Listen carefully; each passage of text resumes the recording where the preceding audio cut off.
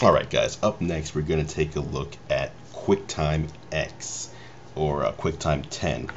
Um, Apple's referred to it as both and it's actually pretty interesting because the last version of QuickTime and Leopard was QuickTime 7 so they've actually jumped past 8 and 9 and just gone straight to 10. Um, very interesting but uh, whatever, no big deal. So let me just launch a video here.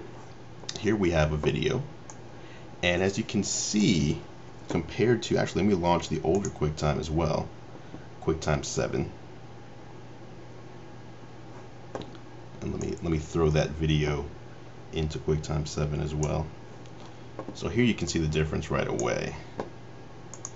Same video, um, and this actually fits right in there, as you can see, same size. But uh, the new QuickTime X gets rid of uh, the separate bar on top and these controls at the bottom because it instead has the bar here and the controls inside. So if I were to press play. So, what are you doing? Move, it's one of the first questions we often ask friends and family. Now as you can see, when I move my mouse away, those controls go away. Move my mouse back, you get the bar at the top, you get the controls. Move the mouse away, gone. And it's very interesting because it's like almost like a uh, just a video screen within a screen, if you will. Just a floating video. As opposed to this one, where if I press play there, all that stuff stays. So uh, QuickTime X, obviously a little more sleek, a little more slick. Um, you can go full screen with it if you need to, like so. Go back out, make it bigger or smaller. Um, let's open a second video just to show you uh, that it can do that. There we have another video. We'll hit play there as well. And there you have it. Let me close QuickTime 7 down. Okay, so another thing I want to show you about QuickTime X um, is that you can edit video, um, something that was only available in QuickTime Pro before.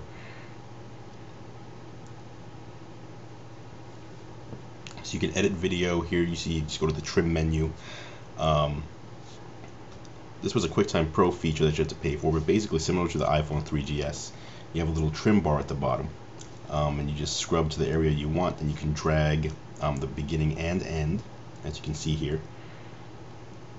And then if I were to press trim, it would uh, trim that clip and leave me with a shortened version. Um, the other thing you can do is share. You can share it to iTunes, um, which will let it be available to your Apple mobile devices um, and Apple TV. You can also uh, share it with MobileMe. And um, lastly, you can do it direct to YouTube. So here, if I just put in my YouTube username and password and hit sign in, I can get this video uploaded directly to YouTube um, right here from QuickTime X. So there it is. QuickTime X. Very cool. Um, again, floats on your desktop. It's sleek. I think it looks good. Um, there's also a new uh, icon here in the dock, which some people have been complaining about. Don't really see what the big deal is uh, compared to the older one. Pretty much the same thing.